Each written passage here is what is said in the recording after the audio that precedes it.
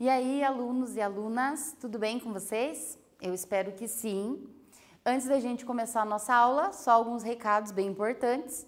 Lembrem-se de entrar no Classroom, clicar lá no link né, de confirmação da sua presença, deixar as suas atividades em dia, acatar as solicitações dos seus professores. Nós estamos tentando, todos nós estamos tentando ajudá-los da melhor forma possível né? E vocês também precisam fazer a parte de vocês, ok?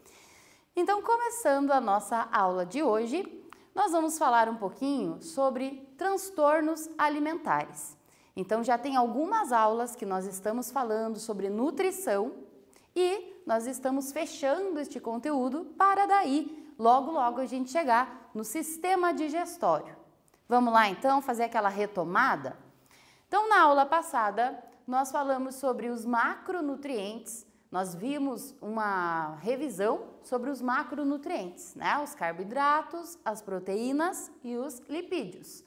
Nós vimos a função de cada um deles, a importância, em que alimentos a gente encontra esses nutrientes. Qual que é o objetivo desta aula de hoje? É a gente compreender como que os hábitos alimentares podem refletir no desenvolvimento, no bom funcionamento do organismo humano. Então a gente vai conhecer os transtornos, alguns transtornos alimentares.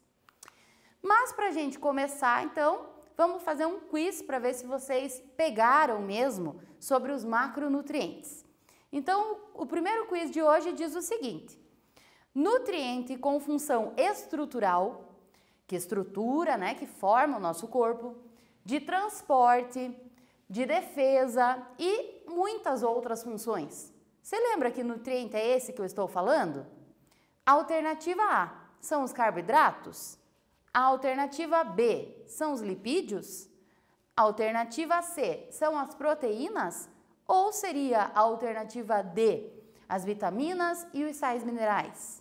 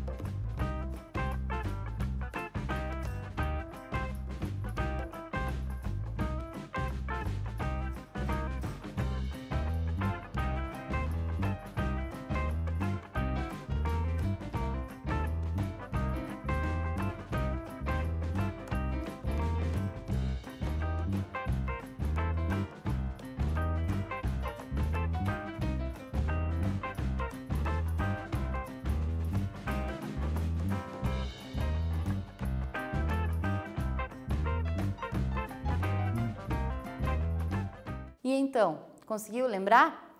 O nutriente que tem todas essas funções importantes, mas além dessas tem muitas outras funções, são as proteínas, né? Então a nossa resposta correta para este quiz era a alternativa C. Os carboidratos, lembrando, são alimentos energéticos, fornecem energia ao corpo. Os lipídios também têm esse papel, mas além desse, né, fazem parte das membranas celulares, eles ajudam na produção de hormônios e as vitaminas e os sais minerais estão, é, são reguladores, estão relacionados à manutenção, ao bom funcionamento do organismo. Então a gente já chegou até aqui e já sabemos que uma alimentação saudável é aquela que vai fornecer ao nosso organismo todos os nutrientes necessários. Se faltar algum nutriente, se a gente não ingeri-los na dose adequada, a gente acaba tendo algum problema de saúde. Pode não ser a curto prazo, pode não ser agora, mas acaba desenvolvendo no futuro. Então a gente precisa tentar manter todos os nutrientes em dia e a gente já sabe, né? Cada um deles já conhece aonde encontrá-los, ok? Então a gente já sabe também que nós devemos preferir sempre os alimentos naturais menos industrializados possíveis, moderar no consumo de sódio, de açúcares, de gorduras, limitar o consumo principalmente né, dos industrializados, dos ultraprocessados, dos alimentos refinados, porque eles passam por muitos processos nas indústrias e isso nem sempre é bom para nós. E evitar aquele tipo de gordura que você já sabe qual é, que é a pior gordura que existe, as gorduras trans, certo? Continuando então, temos mais um quiz aqui sobre alimentação saudável. Eu tenho certeza que este vai ser bem fácil com base em todas as aulas que a gente trabalhou sobre nutrição. Vamos lá? Então diz o seguinte: a alimentação saudável está ligada a alternativa A, a uma vida mais longa e com mais qualidade. A alternativa B, a um crescimento e desenvolvimento adequado. A alternativa C, a menos problemas de saúde. Ou a alternativa D, todas elas estão corretas.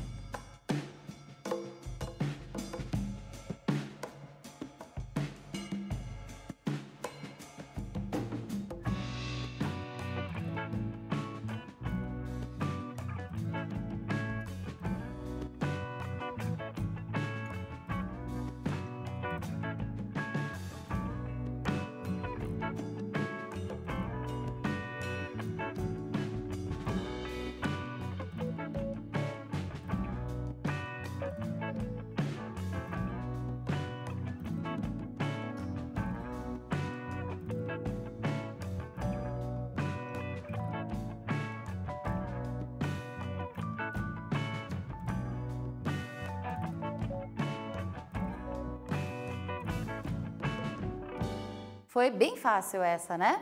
Olha só, uma alimentação saudável vai sim garantir uma saúde melhor, uma qualidade de vida melhor, visto que a pessoa, né, dificilmente vai ficar doente, vai precisar de medicamentos, vai se sentir mais disposta, vai dormir melhor, vai estar mais bem-humorada. Então, todos esses aspectos fazem sim parte de quem tem uma alimentação saudável. Então, a nossa alternativa correta aqui era a letra D, né? Todas elas estão corretas. E então, começamos a aula, o conteúdo propriamente dito, né? A gente estava fazendo uma retomadinha. Começamos esse conteúdo com uma questão já para você pensar aí um pouquinho. Será que você sabe o que seria um transtorno alimentar ou um distúrbio alimentar? O que, que você acha que é isso? E será que você consegue citar o nome de algum desses transtornos? Pensa bem, escreve o que você acha. Se você não souber, não tiver certeza, não tem problema, você está aqui para aprender, né? E eu já volto aqui para te contar.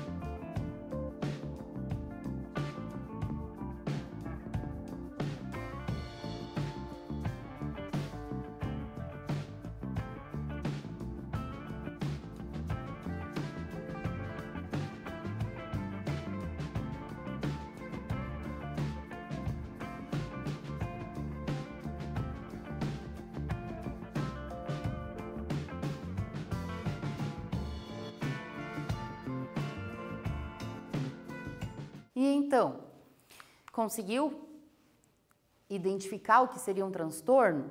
Vamos dar uma olhadinha aqui. Transtorno ou distúrbio alimentar são aqueles é, são aquelas alterações no comportamento da pessoa que se referem à alimentação dela. Então, comportamentos com relação aos hábitos alimentares que vão afetar de uma forma negativa, de uma forma ruim, a vida dessa pessoa. Então, olha só aqui nas imagens. Em alguns casos, o transtorno pode levar a pessoa a uma magreza extrema. Em outros casos, esse transtorno pode levar ao sobrepeso extremo, a um caso de obesidade, como esse aqui da imagem, por exemplo. Então, sempre que a gente fala em transtorno, não é algo natural, não é algo saudável. A gente vai conhecer alguns deles agora. Vamos lá? Mas antes da gente conhecer eles, temos mais uma questão aqui para vocês. Agora que você já sabe o que são transtornos, pense, quais seriam as causas? O que, que leva uma pessoa a desenvolver um transtorno alimentar? O que, que você acha? O que, que interfere na vida dela? O que, que afeta para que ela tenha esses transtornos? Anota aí e eu já volto aqui para te contar.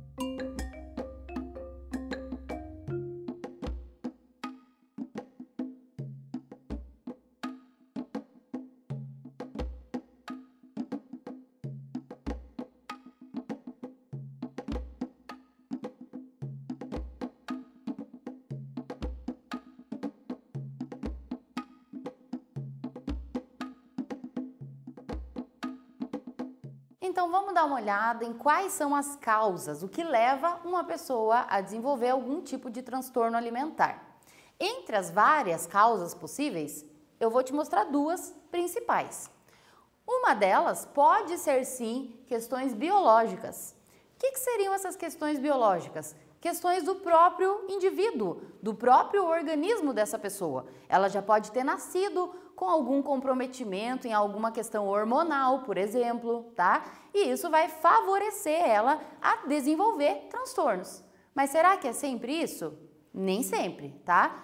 Quanto a esses transtornos de origem biológica, olha só, a gente tem aqui na imagem a estrutura química de dois hormônios. Esses nomes esquisitos aqui, leptina e grelina, são dois hormônios que o nosso corpo produz e são eles que regulam a nossa fome, que dão um sinal para o nosso corpo que a gente já está satisfeito quando a gente come. Olha só que interessante. Aqui, uma pessoa com peso normal, tá? Então, quando ela está com fome, de estômago vazio, o nosso corpo, inteligente como é, ele vai aumentar as taxas da grelina, como vocês estão vendo em vermelho. Isso vai fazer com que a gente sinta fome. E aí, o nosso corpo, né, precisa de comida, você vai comer. À medida que você vai mastigando, a leptina vai ajudando a sinalizar para o seu corpo que você já está satisfeito, que já tem energia suficiente ali. E aí você, né, tem um pico no qual você come e depois você se sente satisfeito. Isso em pessoas com um peso normal. Mas estudos mostraram que em pessoas com obesidade, esses hormônios não estão bem regulados. Então, em muitos casos, foi identificado que a pessoa não sente saciedade. Então, não é que a pessoa é gulosa, que a pessoa né, come porque quer. Muitas vezes a obesidade pode estar relacionada a estes hormônios, tá? Então, a pessoa não se sente satisfeita, por isso que ela come além da conta, tá? Então, esta é uma imagem de um vídeo explicativo de uma médica da área dos hormônios. Se você quiser saber mais, você pode acessar com a câmera aqui do seu celular o QR Code e vai te levar a este vídeo explicadinho aí pela médica, tá? Então, confere aí depois.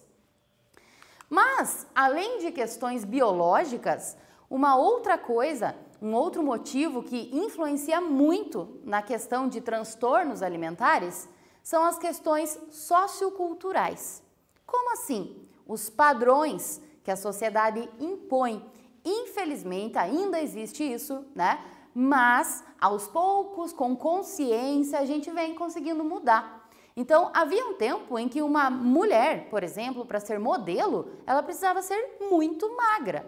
Agora não, agora a gente já tem inclusive modelos plus size, né? Modelos que já não são mais aquele padrão super magro.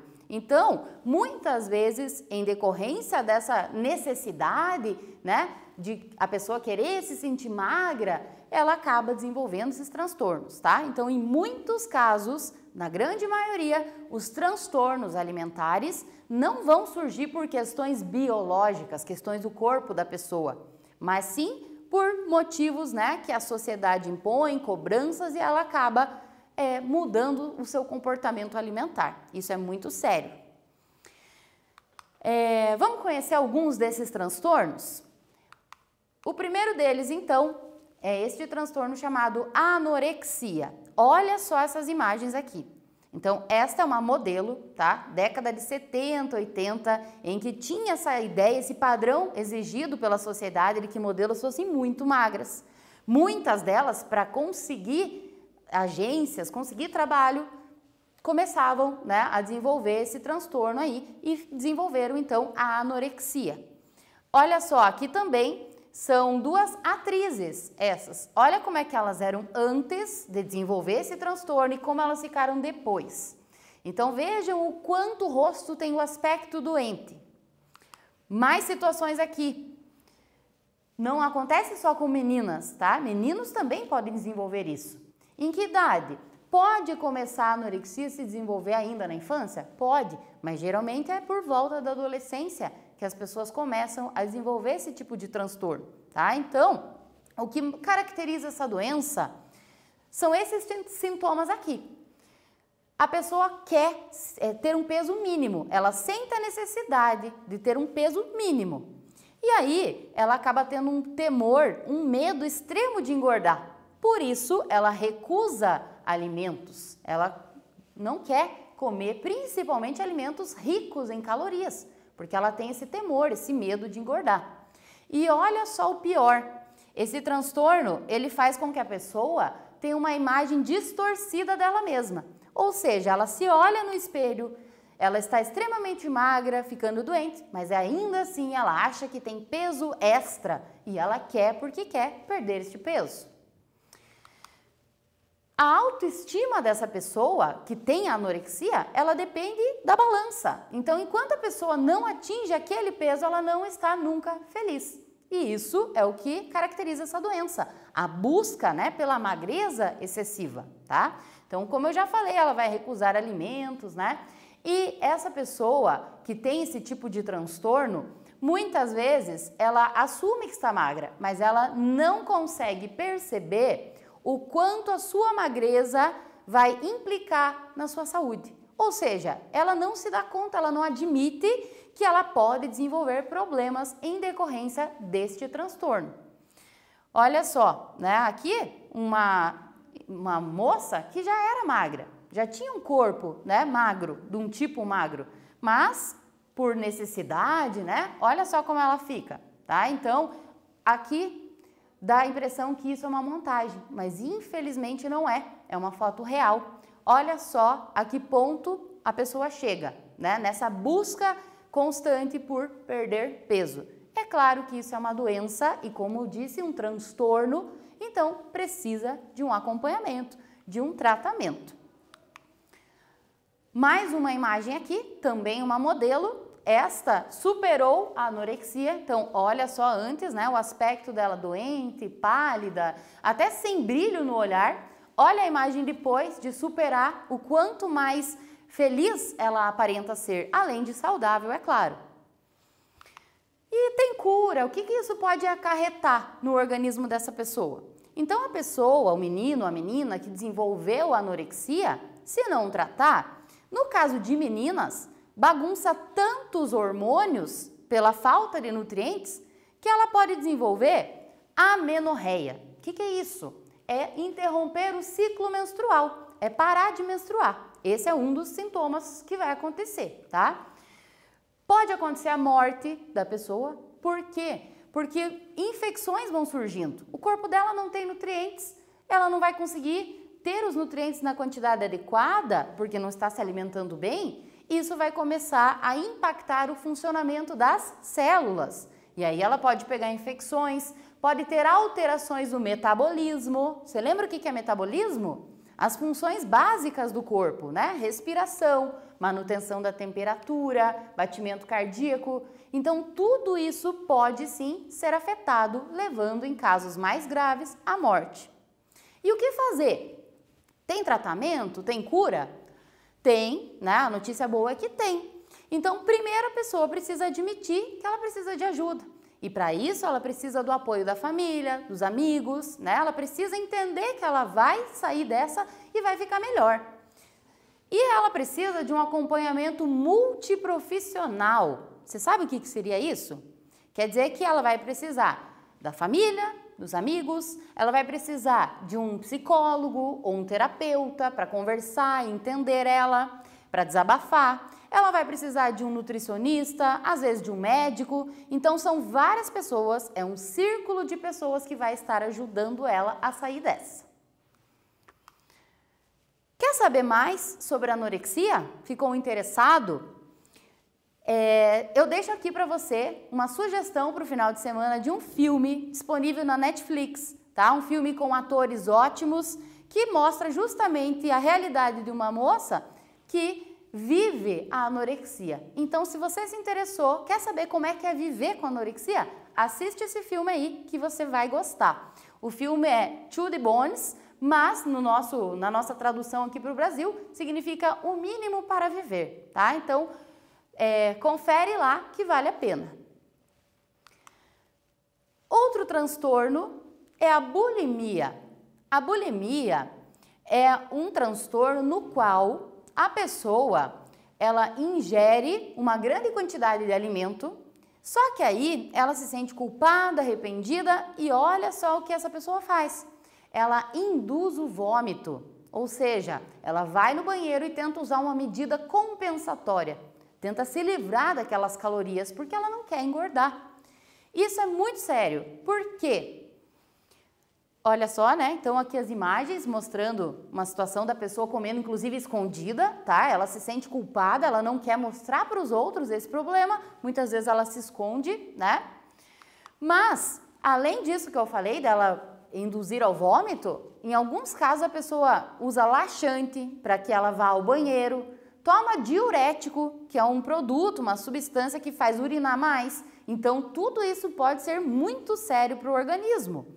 E olha só, os problemas, né? Pode afetar o metabolismo também, pode causar inflamações no esôfago. O esôfago é esse tubo que conecta a nossa boca até o nosso estômago. Nós temos um ácido dentro do nosso estômago que digere os alimentos. A pessoa, ao induzir o vômito, ela vai fazer com que esse ácido volte junto. Isso vai queimando as paredes ali, né, do esôfago, tá? Todo, todos nós, alguma vez já tivemos né, um episódio de vômito e a gente sabe o quanto é ruim, o quanto queima quando ele vem. É justamente por conta desse ácido. Então, se a pessoa torna isso um hábito frequente, imagina o mal que isso não faz por dentro dela, né? Prejudica os dentes também, tira a proteção, que é o esmalte do dente, tá? E o tratamento, a cura, é a mesma situação que a anorexia, é com um acompanhamento de vários profissionais que vão ajudar essa pessoa. Um outro transtorno é a compulsão alimentar. Mas a compulsão alimentar, embora seja também um, uma pessoa que come muito, muito, num pequeno intervalo de tempo, ela come exageradamente, ela come mesmo sem fome, ela está satisfeita, ela continua comendo. Cuidado, porque isso é diferente de um excesso ao outro, tá? Quando a gente vai, por exemplo, num rodízio de pizza, numa festa de aniversário, né? Aí a gente exagera, claro, mas são ocasiões, não com frequência. Se a pessoa faz isso com, com frequência, pode ser sim um transtorno alimentar. E aí o que muda dessa para a bulimia é que nesse caso a pessoa ela não vai vomitar, ela não vai buscar medidas para compensar aquilo mas ela vai ficar se sentindo mal, para baixo, fracassada, porque ela sabe que aquilo não é saudável, mas ela não consegue sozinha parar. Tá? Então é um transtorno que também precisa ser tratado. E geralmente ele acontece por quê? Problemas emocionais, seja, né, algum sentimento, algum remorso, ansiedade, estresse. Então tudo isso pode afetar é, a alimentação da pessoa, tá? Vamos ver se você está entendendo? Temos aqui um exercício que diz o seguinte: Ana é uma menina de 15 anos. Seus pais vivem preocupados, pois ela está muito magra, mas ela discorda deles. Alternativa A, para você responder aí.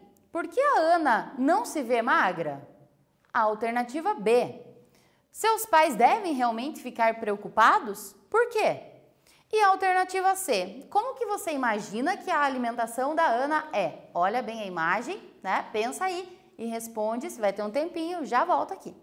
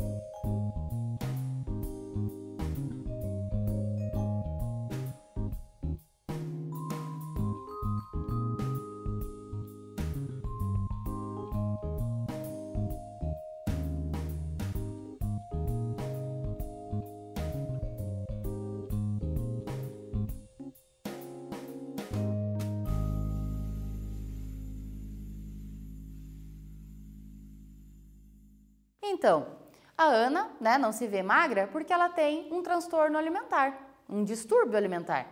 Seus pais devem ficar preocupados? Com toda certeza, porque se ela está magra e não admite, não está se alimentando bem, algum problema ela tem, né?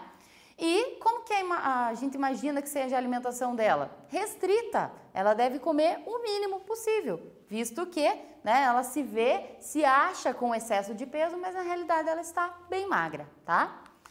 Mais uma questão aí. O que você faria caso você percebesse que um amigo, uma amiga está desenvolvendo algum tipo desses transtornos alimentares?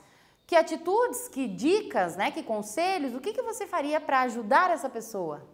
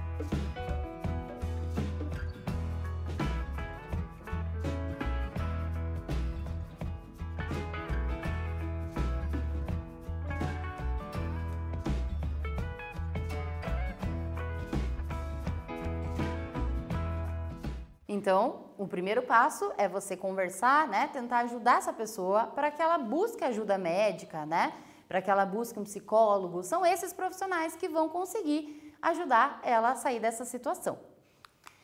Temos mais um quiz aqui sobre essa anorexia, né? Restritiva aí. São aquelas onde alternativa A, o controle de peso se faz por vômitos excessivos? Alternativa B, as pacientes controlam o peso pela ingestão de baixas calorias e exercícios excessivos? A alternativa C, os pacientes recusam praticamente toda a alimentação? Ou a D, o controle do peso ela faz através de medicações?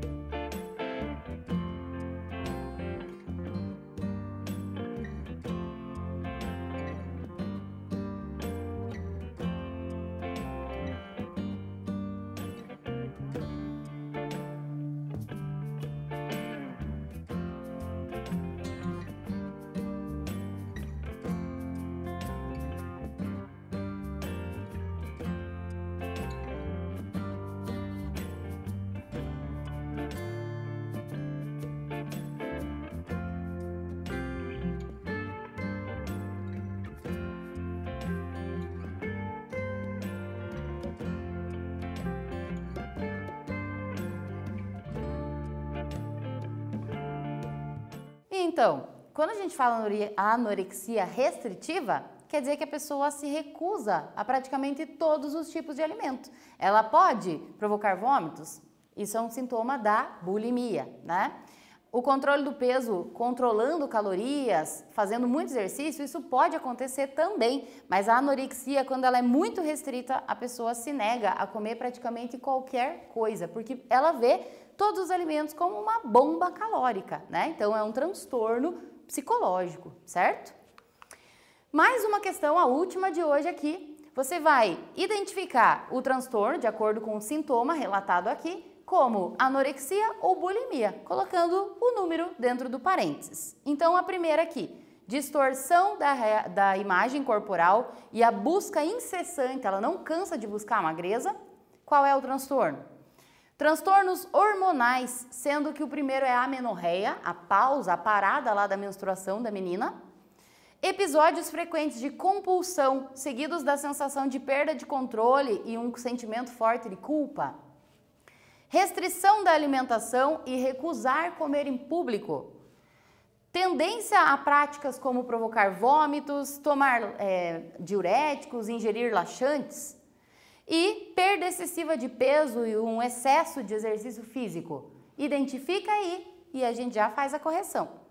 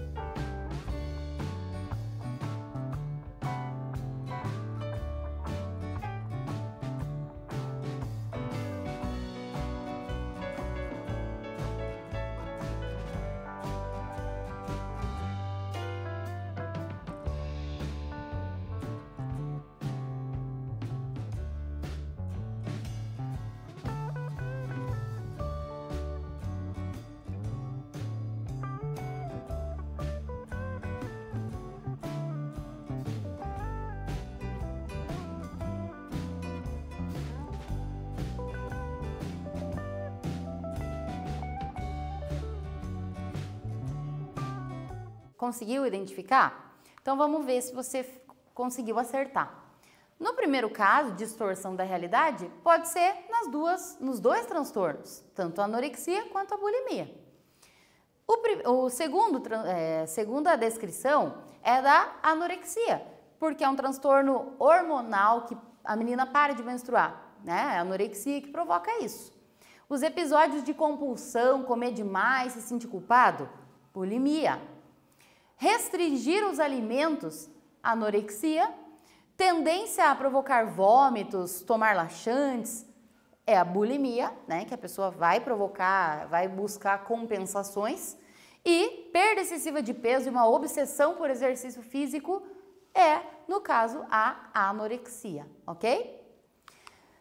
Estamos fechando mais uma aula, então olha só, nesta aula nós falamos sobre alguns transtornos alimentares que são problemas psicológicos, tá? Que precisam de uma ajuda multiprofissional. Aqui várias pessoas, né, envolvidas. Tem tratamento, tem cura, mas o quanto mais cedo a pessoa identificar, melhor para ela não ter prejuízos à sua saúde. E um recadinho final: não existe corpo perfeito. Fuja dos padrões. Não queira ser igual a ninguém. Se ame, ame seu corpo, cuide do seu corpo e principalmente da sua saúde. Eu falei que não existe corpo perfeito, mas é, na realidade existe sim. Sabe qual é o corpo perfeito? Olha só, é aquele que tem alguém feliz e principalmente para ser feliz tem que ser saudável, né? Então, um corpo é um corpo perfeito é aquele que tem alguém feliz dentro dele. Agradeço a sua atenção, espero que você tenha gostado dessa aula e se cuide até a nossa próxima aula.